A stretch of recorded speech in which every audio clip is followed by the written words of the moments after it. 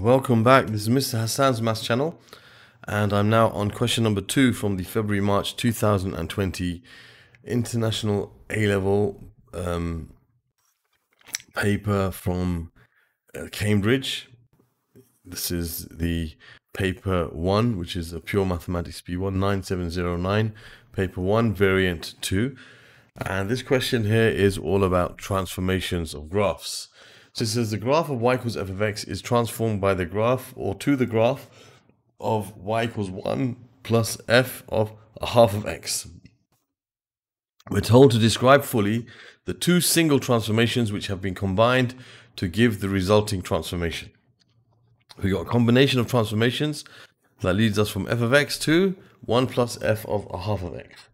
Now, first thing, when we have a combination of transformations, we normally deal with what's inside the function first and then what's outside the function. So all the changes that take place inside this bracket is what we deal with first, and then we deal with the changes that are outside of the bracket, like which are separate from the function.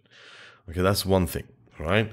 Um, secondly, um, there's a few rules that I'm going to go through first before I actually answer this question, just to give you the background of this topic um, for those of you who maybe maybe don't have that. So if you start off with y equals f of x, and if you add something to the whole function, for example, if you do y equals f of x plus a constant, okay, plus a constant where a is a positive constant, right? Then what this leads to is a vertical trans translation. All the y coordinates you add a to them, and all the x coordinates stay the same. What changes that occur inside this bracket affect the x coordinate. Changes that that occur outside the bracket, which are you know added to or multiplying the whole function, they affect the y coordinates. So here, the x coordinate remains unchanged.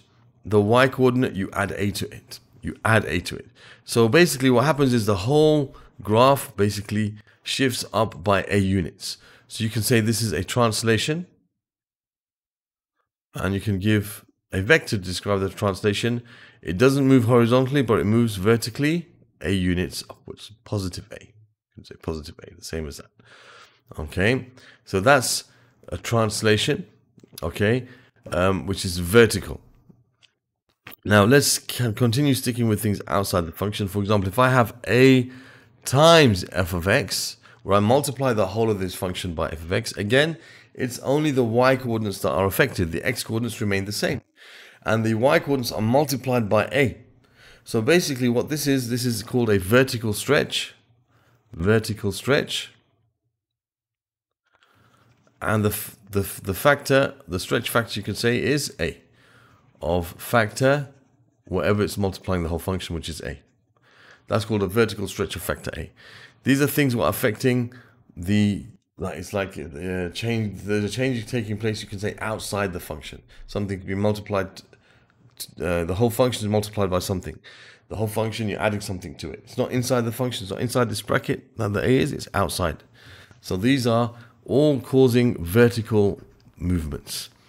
Okay, and you also have, for example, you have y equals minus f of x, where basically the whole function, the change, the sign of the whole function changes. Okay, you just, you know, you just take the whole function and you change the sign of every term, right?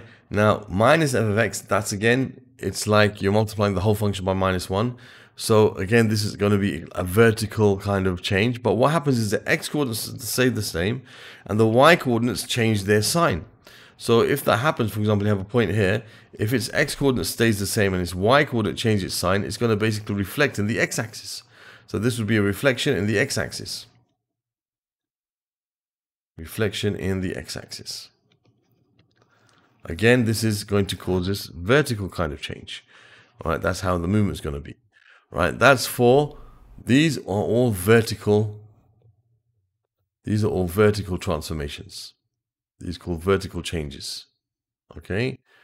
These cause vertical changes. And you can notice you're adding something to the whole function. You're multiplying the whole function by something. Both of these cases, but this one is just minus one basically. All right. Now, when you have something like y equals f and this time x plus a where it's inside the function. In this case, it's like the x is being replaced by x plus a.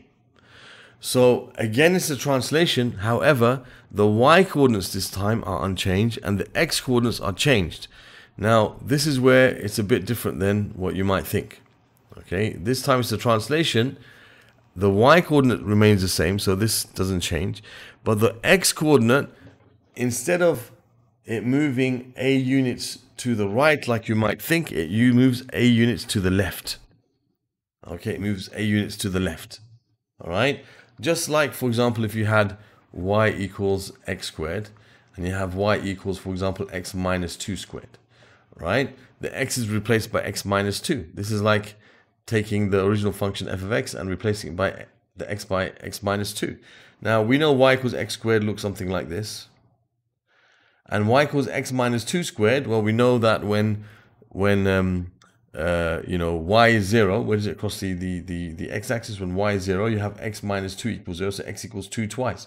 Basically, what's going to happen is, it's going to turn, if you, if you, if you sketch it, it's going to turn at x equals 2. So it's like the whole of this function has moved 2 units to the right. It's like this has moved 2 units to the right. Okay, so this function has moved 2 units to the right, even though it says minus 2. And if it was x plus 2 squared, if you solve that, you would have x plus 2 equals 0, x minus x, x equals minus 2. So yeah, x if it was plus 2, it would be x equals minus 2. So the, it's like the function will move 2 units to the left. So you basically, uh, when it's when it's inside the function, you do the opposite. It says plus here, plus a, you go to the left. If it said minus a, you go to the right. You do the opposite of what it says. So the changes inside the function kind of like, uh, first of all, they they have like a effect which is horizontal. And secondly, they kind of like do the opposite. So for example, if you have y equals f times a of x, this is again a stretch, but this time it's a horizontal stretch because the x coordinates are changed the y coordinates stay the same, so it's a horizontal stretch. Okay, but in this case, the factor is going to be not a, it's going to be the reciprocal of a. It's going to be 1 over a. So if, for example, if this is 3 over 2, x, you'd get horizontal stretch factor 2 over 3. Whatever's over here, you just, right, you, you, you multiply all the x coordinates by the reciprocal of that to show the transformation. Okay, so that's when you're multiplying something with the x, where you're replacing the x in the function f of x with ax, then it's a horizontal stretch or factor 1 over a. So the x coordinates are multiplied not by a, but by, by its reciprocal. Okay, and if you have y equals f minus x like this, this again is going to cause a horizontal change, but in this case, the x coordinates are multiplied by, in this case, going to be minus 1. It's the same rule as this, but it's going to be multiplied by minus 1 over 1. Well, the reciprocal of minus 1 is minus 1. So the x coordinates change their signs and the y coordinates remain the same. So if you have a point, for example, over here, its x coordinate will change the sign, so it will end up over there. The y coordinates will, be the same. So it's like a reflection, this time in the y axis, causing a horizontal kind of change. So this is a reflection in the y axis. Okay, reflection in the y axis. So the x coordinates change their sign, the y coordinates stay the same. All right, so these are all representing horizontal changes. Okay, so that's a little summary here of transformations of functions and how these kind of changes and what they cause.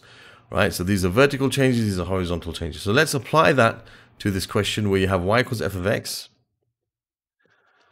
Okay, and it becomes um, the new graph is y equals 1 plus f of, what was it?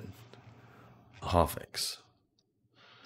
Okay, now, the general rule is we start off with what's inside the function. Sometimes it doesn't make a difference, but sometimes it does.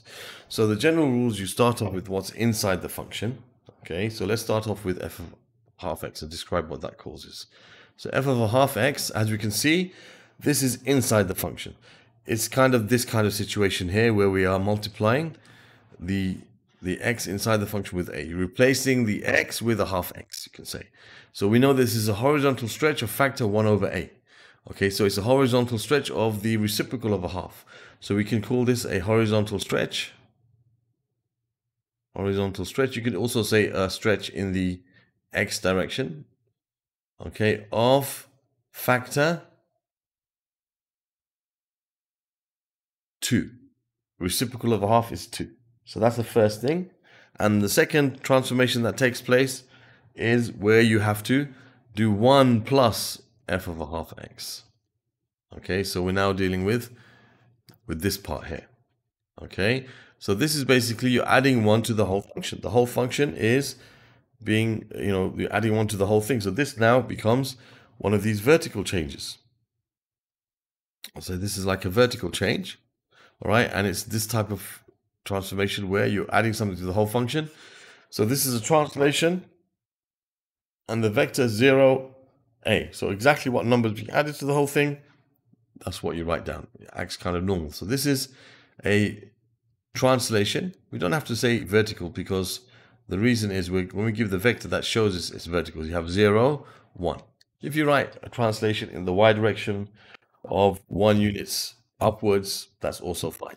You can say, you know, translation parallel to the um, y-axis, okay, parallel to the y-axis of one unit upwards, you can write that. But this is like a very succinct way of writing the answer. Translation vector 0, 01, that is perfectly good and it's a very concise way of writing all that information. So here we have um, these the answer basically, all of that explanation just to give you some background of the topic. But this is the answer. Very quick question. Actually, only worth four marks. So probably you get uh, one mark for the description of the transformation and one mark for the detail of what the factor is and what the you know, how many units it goes up is. All right. So there we have the answer to that question. I hope that um, benefited those who maybe didn't understand this topic before.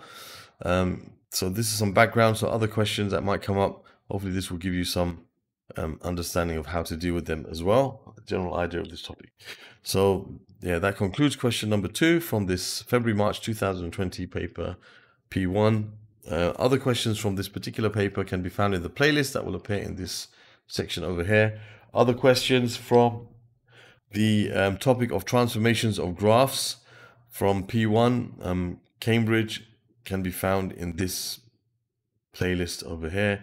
You can subscribe to my channel by clicking on this link and the video that shows here will explain how to use my channel to find what you're looking for. Thank you for watching and see you soon.